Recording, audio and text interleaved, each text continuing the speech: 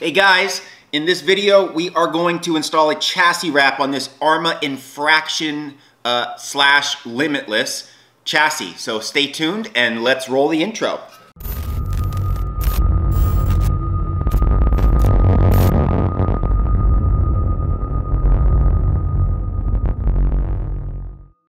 Okay, so the first thing you want to do uh, when you order your chassis skin for your Arrma is take a look at the chassis skin here and scan this code. And if you're watching this video, you probably already have scanned this code, but this code will take you to uh, the instructions and the video. There is a little diagram here that shows you the different tools you're gonna need.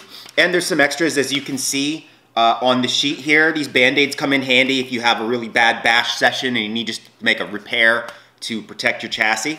So let's get started. This is a tricky one. And that's why I made this video, uh, in particular for the infraction and limitless crowd. You can see on this chassis that we've got a, a indentation here and here. And that's what makes this a little bit more of a tricky install, okay? Now, I've already taken, taken some steps uh, uh, to prep this chassis before I made the video, so I wanna go over them now. I cleaned the chassis down with uh, isopropyl alcohol, as you can see. And then what I did was, I used a 3M Primer 94 pen, and that is outlined on your instructions here. I'm gonna put a link to that uh, below the video, and I'm also going to put a picture of it right up here. And uh, you can get that from Amazon. It's really cheap. I think it's like 250 for a single pen. But what it is, is it's a liquid, and you rub it on wherever you're going to apply your sticker, and it, it, it just makes the bond about 80% stronger. And you really need that in these grooves here because when we install this graphic, I'll illustrate it with this squeegee. We're going to install it and bridge this, this dip right here. And so what happens is when we heat the graphic and we want to push it down into here, uh, you need an extra bond in here so doesn't the graphic doesn't pop back up on you, okay? This is probably one of the only chassis I've come across so far that really would benefit from this practice. I've already applied the 3M primer to this because I didn't want to stink up the studio in here. I have kids and they come in and out and uh, I just didn't want to deal with that. So I did that part outside off camera.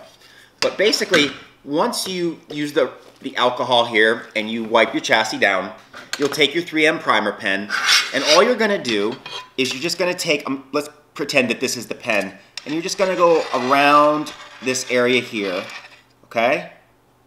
just like this, get it all.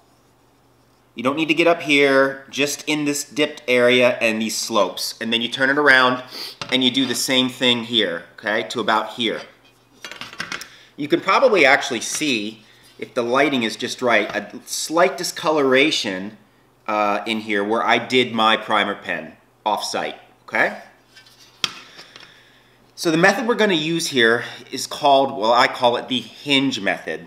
And what we're going to do is we're going to put the skin down and adhere it in this area, okay?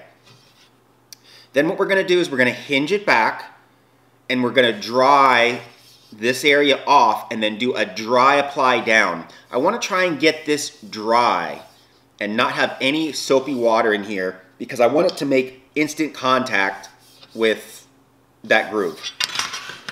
So again, I've already prepped, and the first thing I want to do, my hands are clean, is pull the chassis skin off.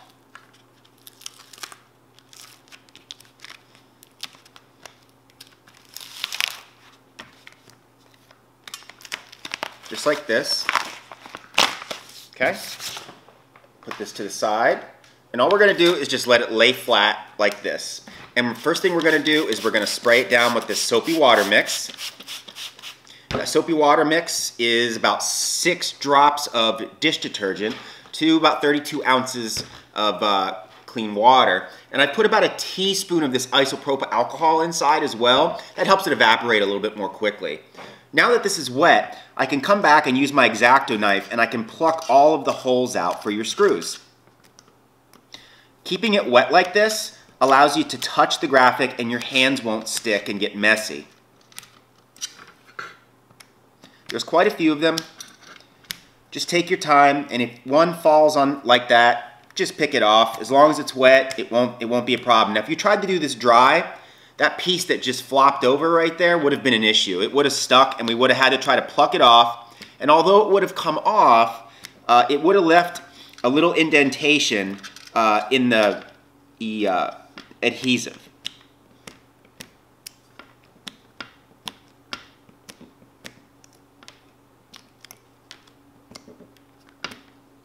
Okay, I think that's all of them.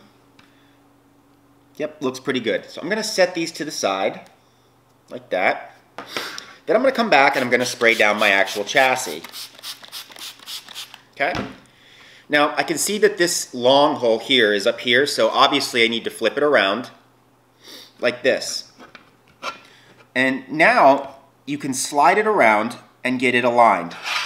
Now, like I've noted in my other uh, chassis install videos, there is a back cut. Every hole is back cut about, oh, I'd say a 16th of an inch. And what that does is it allows you to sort of uh, wiggle it around and give you a little bit of play because these products can expand and contract during shipping. Okay? That looks pretty good. I mean, I'm going up here and I'm looking at this. That looks good. I'm going to ignore this dipped area here because I can't do anything about it because you can see it needs to go down, okay? As long as we get the majority of the middle lined up, the left and the, uh, the left and the right side should align for us without a problem. Okay? We're to add some heat.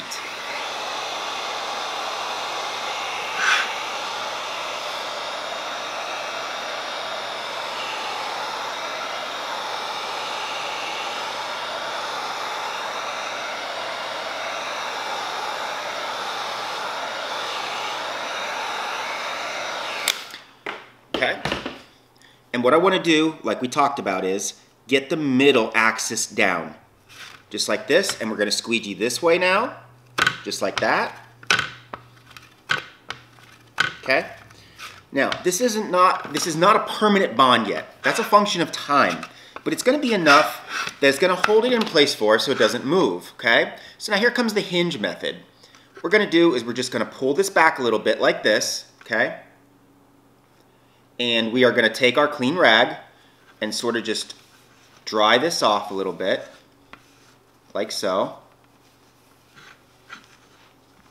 Okay? And we're going to take our heat gun. You can already see evaporating off of uh, this uh, chassis, which is great. I still see the discoloration in here from my primer pen. That's good too. Now I'm going to slowly move my way up here and evaporate uh, the moisture from the sticker. I don't want to add too much heat because I don't want to uh, deform it. So the trick is to hold it back far enough so that it just keeps the air moving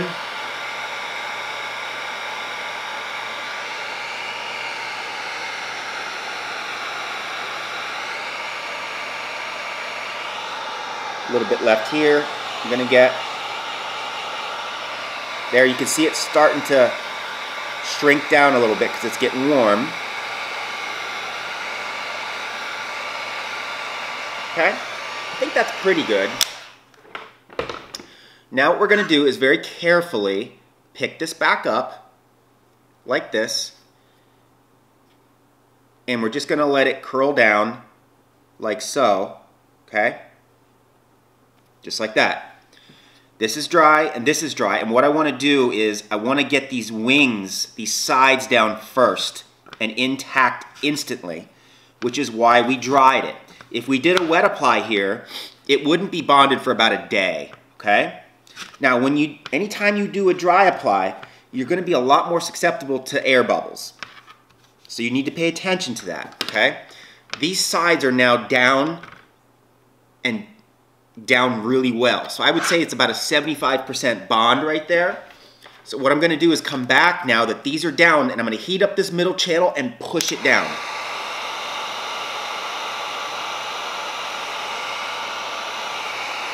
Okay, here we go. I'm working my way down the sides first, just like that. Just like that. A little bit more heat. Okay? Now I'm going to take my rag and I'm just going to work my rag towards the holes which will help the air get out. It needs a pathway out. Just like that. Now, you're probably going to have some air bubbles left, so we're going to need to pop them. Whenever you do a dry install, it's almost impossible to get these things down without an air bubble or two. So I'm just to use my finger. I can see one right here, and I'm to push it and just pop it and lift it up with my knife a little bit, and away it goes. There's one more right here. I'm just to get in there with my knife and pop it and push and just keep going up this channel. Same thing here. Then I'm to come back with the heat. And that little tiny hole I made with the knife, I'm to heat it up. I'm to use my rag in this case. And then just, while it's warm, use your finger and go over it and it'll heal and close that hole up for you, okay? Let's flip it around here. We're to do the same thing on this side. Now this is to be a little bit harder to lift up because it's been sitting even though it was wet. Now see, that's all the further I can pull that up because this was starting to bond down the middle axis that we did first. Again, I'm to take my rag, help it a little bit dry here. And I'm going to heat it up. I can see the water evaporating out.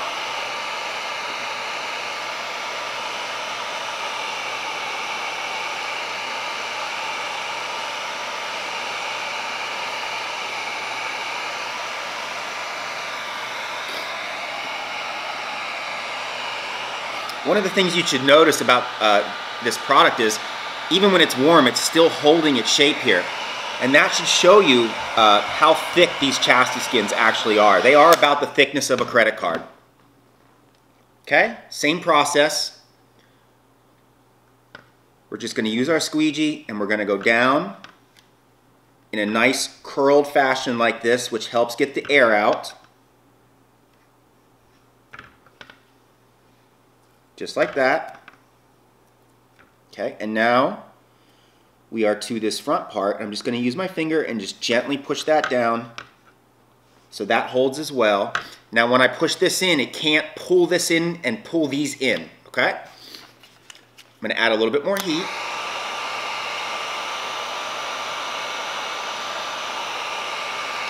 Okay. Now I'm just going to work my way down and down. Looks like I need a little bit more heat in here. Absolutely.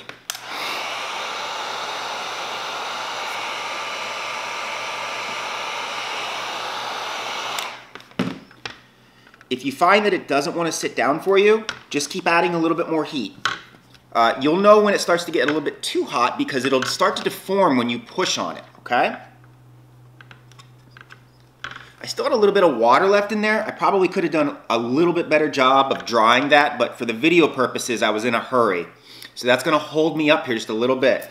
You guys have all the time in the world, I'm sure, so you know, to get these installed, and uh, you're not uh, worried about boring someone like I am here, I try to keep it moving. So take your time.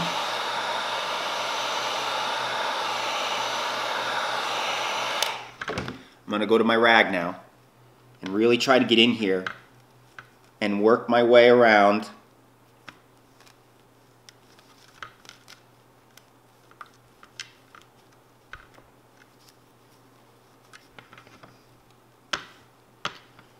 like so. One of the nice things about the rag is as you push on this groove and the water comes, if there's any residual water in here and it comes squirting out of these holes here, the rag immediately soaks it up. And that's beneficial because then it doesn't soak its way back in underneath the graphic. Just gonna keep it warm so that I can keep working with it.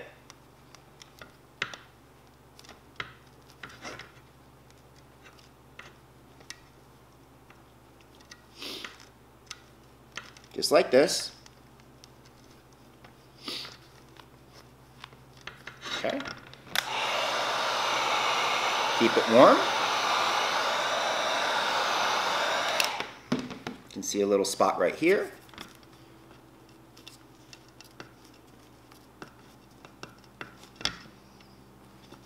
And I'm just gonna work my way up.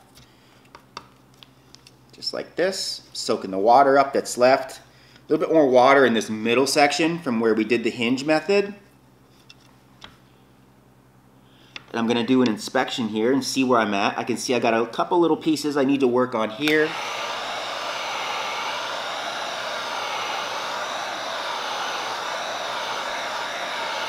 Okay. This rag is also nice because if you, if you drag your finger across, your skin has more friction.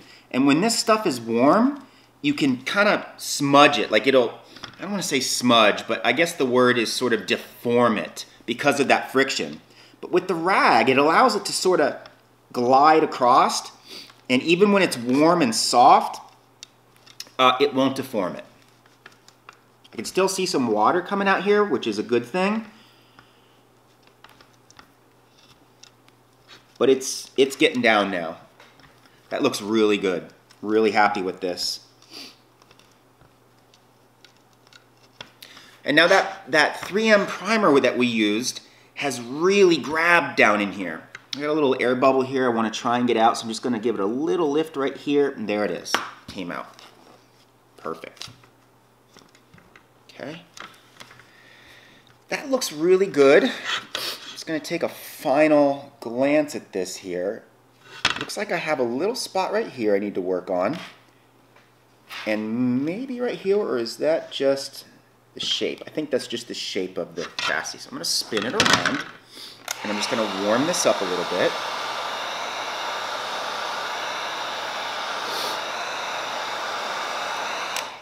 Okay, I'm going to take my knife, I'm just going to get down at an angle here so I can see what's doing. I'm going to get underneath here and get that water out. Just like that. There it comes out. Good.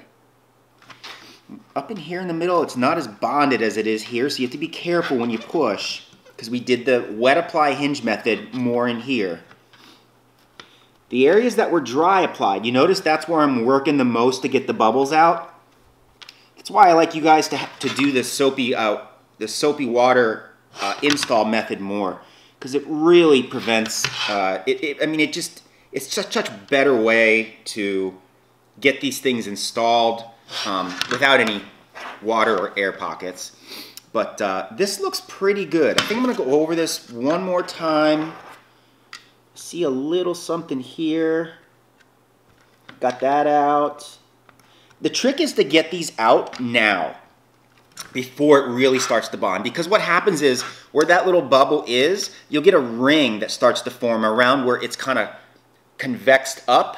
And if, if uh, you let it sit for a day or two, that where that where that edge of that convex up was, that ring will it'll stay there even after you pop the bubble. You'll see sort of a deform right there.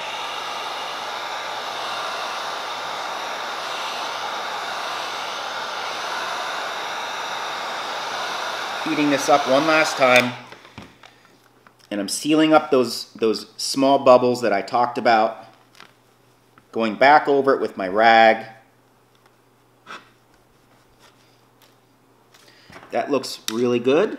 I got one little pesky bubble right there. I'm going to take the back side of my knife and just sort of push it down. Here we go.